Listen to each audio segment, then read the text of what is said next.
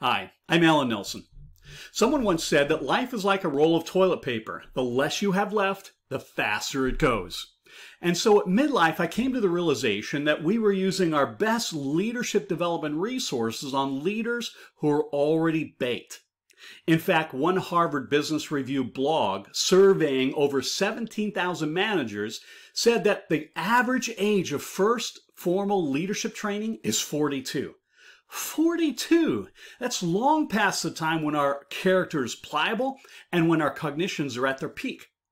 So we began our mission to identify and develop leaders at a very, very young age so that we could develop effective and ethical leaders who would change the future.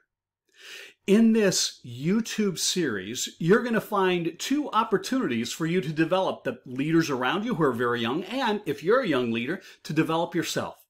The first series is called Kid Lead.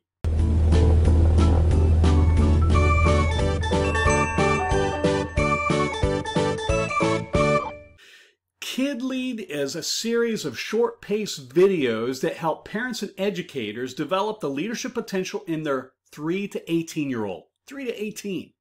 So this will allow you to invest in them, to develop them, and understand what we have learned over the last decade traveling around the world and interacting with thousands of children and youth. Our second series is called Lead Young Institute.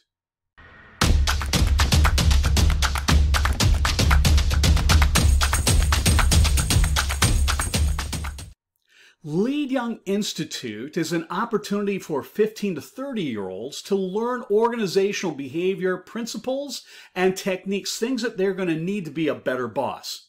In fact, to be honest, it's open for anyone who wants to be a better boss. But our primary interest is for young people. One thing you'll find this a little bit different though is that we use visual aids.